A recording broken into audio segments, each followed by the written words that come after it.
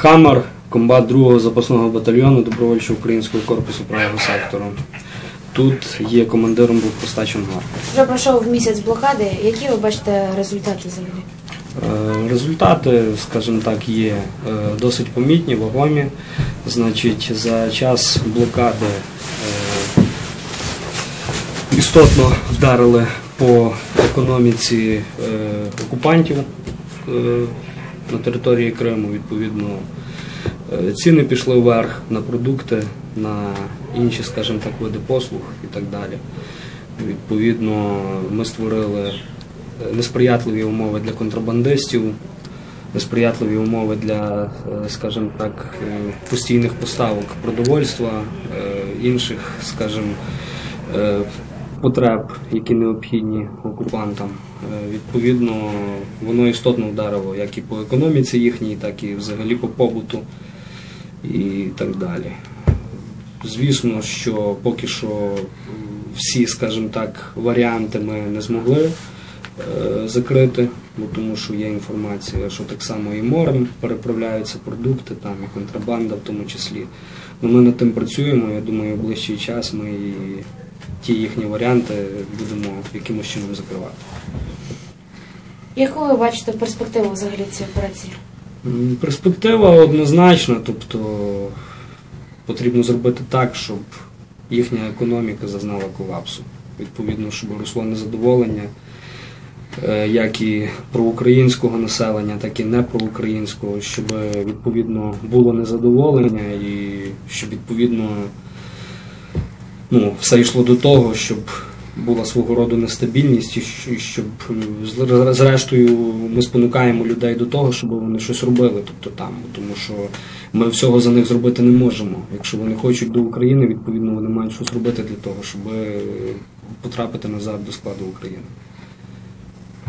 Ви тут уже доволі довго. Можете розказати пару слів сказати про побут бійців тут? Ну, Побут, ну що в нас тут свого роду як ну, атмосфера бойового братерства, відповідно, всі тут е, себе відчувають, як, скажімо, як на війні, усвідомлюють е, серйозність тої справи, яку ми робимо. Відповідно, всі виконують задачі, поставлені керівництвом операції, керівництвом корпусу загалом.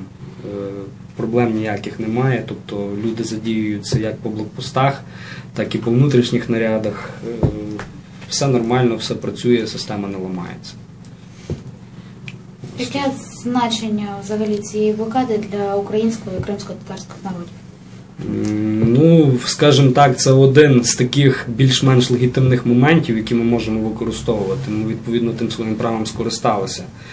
Е, Значення для українського народу це однозначно. Ми хочемо, щоб Крим вернувся в лоно української держави. Відповідно, ми робимо все для того, щоб так і відбулося. Стосовно кримських татар, вони так само рішуче налаштовані. Відповідно, маю надію, що вони підуть з нами до кінця. Які найскладніші моменти взагалі в роботі на блокпостах? Найскладніші моменти завжди в будь-якій справі, в будь-якій роботі є людський фактор. Відповідно, виникають інколи моменти, коли, скажімо так, бо є певні ліміти, є відповідні правила, по яких ми там працюємо, по яких ми можемо пропускати когось чи не пропускати, але виникають деколи такі ситуації, що. Об'єктивно якби не потрібно було, якби, наприклад, пропускати там, наприклад. Але якщо так по-людськи дивитися, то відповідно треба пропустити. Ну в таких ситуаціях, особливо новим бійцям, бійцям дуже тяжко, відповідно.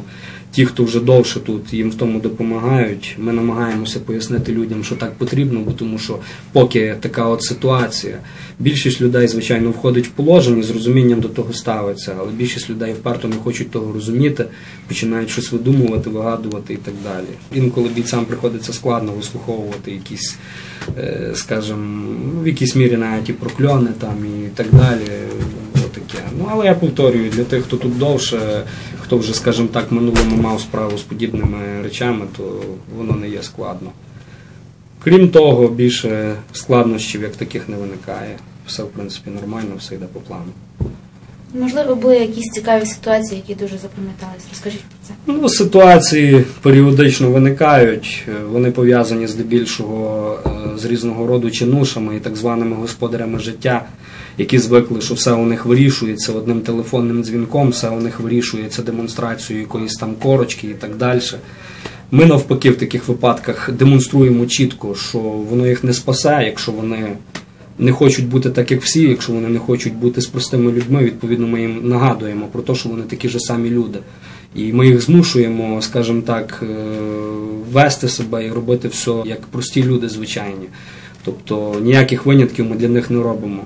Е, Дуже часто бувають випадки, коли нам пропонують хабарі, сунуть гроші в руки.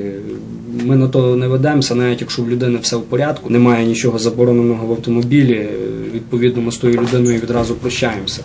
Це робиться з тою метою, що ми е, дійсно хочемо справедливої держави, де буде панувати порядок, де не буде корупції. А з таким з тою ж самою корупцією з нею треба боротися на всіх рівнях і тільки самими рішучими і жорсткими методами. Якщо людина не розуміє, що не можна давати хабаря, е, треба до неї відповідно застосовувати якісь певні санкції. Тобто в такому разі, в нашому випадку, ми просто таких людей не пропускаємо. І в слідуючий раз та людина не буде пропонувати більше нікому хабаря.